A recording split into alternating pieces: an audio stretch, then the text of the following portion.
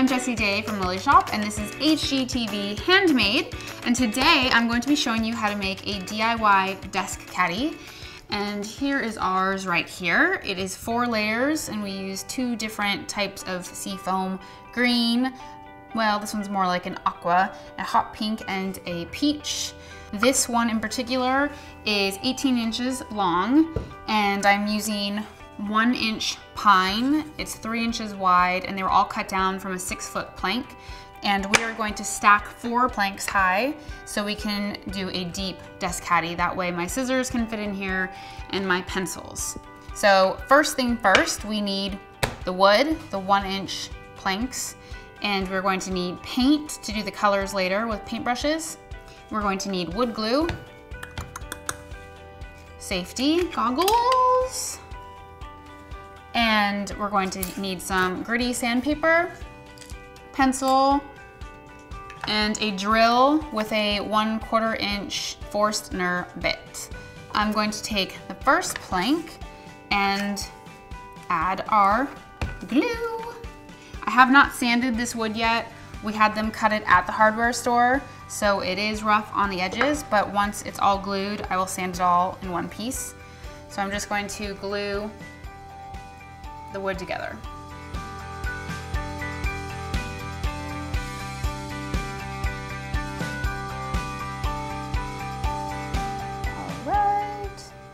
This glue needs to dry for 24 hours. So don't expect to make this caddy in one day. This glue takes a while to dry.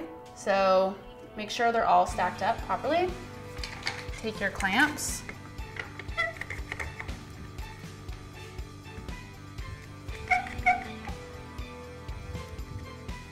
then I'm going to get a wet paper towel and I'm just gonna wipe off some of the glue.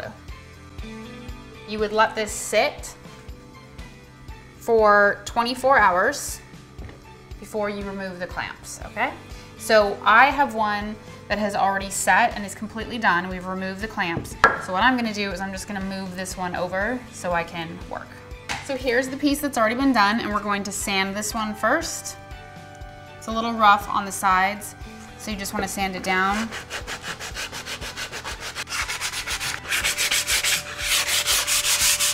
All right, so you just want to make sure it's smooth to the touch and there's no splinters. We're gonna just start with one circle and once that one's drilled, we're gonna do the other one about an inch and a quarter apart. If you start marking off all your circles and you mess up, you're gonna freak out. So it's best to just know where you're beginning and where you're starting and then go from there. So I'm gonna clamp this down Typically, I would do this outside or in the garage on a lower table so I wasn't up above drilling. We'll see how this works for today in my kitchen because it's easier to film in here. But I would recommend doing this outside or somewhere uh, with a normal height table. Make sure you wear your goggles. And again, I'm not authorizing anyone to do this in their kitchen, except for me.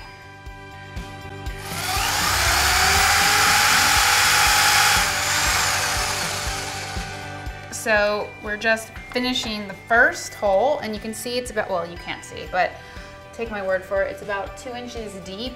So you can put pens in there, go a little bit deeper once I get the sawdust out. So I'm gonna start on the next hole and I already drew it out. It's a quarter, an inch and a quarter away from the first one. So I marked it and I started the hole.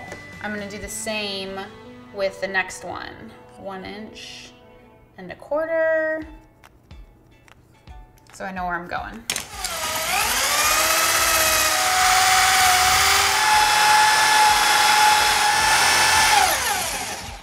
All right.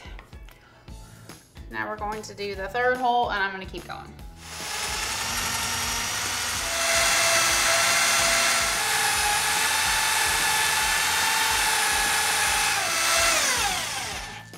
Drilled all the holes. If you have a super powerful drill, it'll take about a half hour to get all of your holes fully drilled, about two and a half inches deep.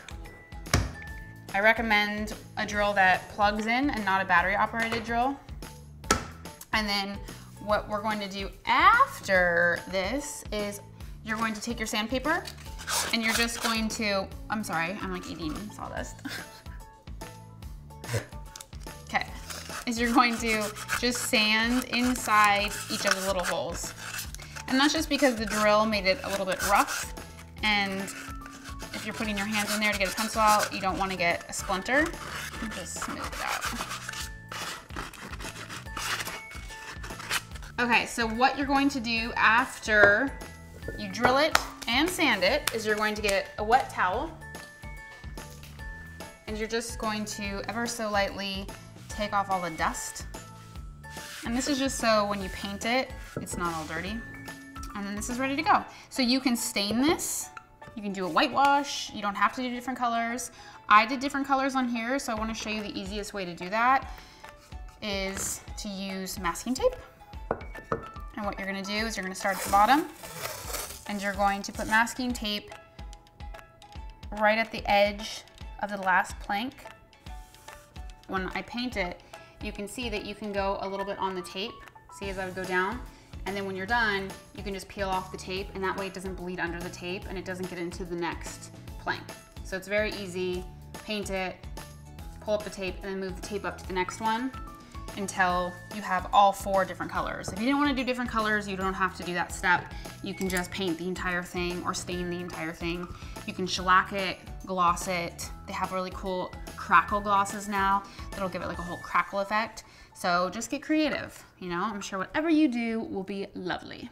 If you like this video, please be sure to give it a thumbs up and make sure that you subscribe to this channel, which is HGTV Handmade, as well as my channel, which is Lily Shop. And if you make this desk caddy, make sure to either email me a picture or find me on my website, lilyshop.com, or you can tag me on Instagram and that way I can repost it. Thank you so much for watching and I will see you guys next time.